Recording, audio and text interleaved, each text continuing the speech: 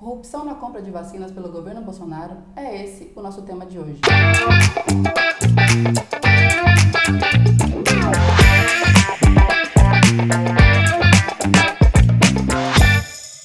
Essa sexta-feira, na CPI, o deputado Luiz Miranda afirmou que Bolsonaro sabia de indícios de irregularidade na negociação para a compra das vacinas Covaxin, envolvendo Ricardo Barros, líder governista na Câmara e também principal representante do Centrão. Matéria publicada pelo jornal Estado de São Paulo na última segunda-feira dizia que o valor de contrato do governo brasileiro era mil por cento mais caro do que a fabricante havia publicado seis meses antes. E isso acontece no momento em que o país chega na marca de mais de 500 mil mortos por Covid-19, o que é ainda mais revoltante quando a gente vê que essas negociações corruptas estavam sendo feitas ao mesmo mesmo tempo que em Manaus as pessoas estavam morrendo por falta de oxigênio. Mas a CPI, gente, é um instrumento cheio de golpistas que estão lá interessados em garantir reformas e ataques para descarregar a crise nas nossas costas.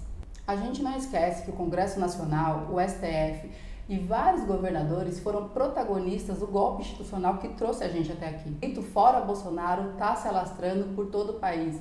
Mas, gente, vamos lutar para que um Mourão, um racista e adorador da ditadura assuma o poder? Não pode ser. A gente não pode confiar nessas instituições. Temos que apostar na força da classe trabalhadora para derrubar Bolsonaro, Mourão e todos os golpistas.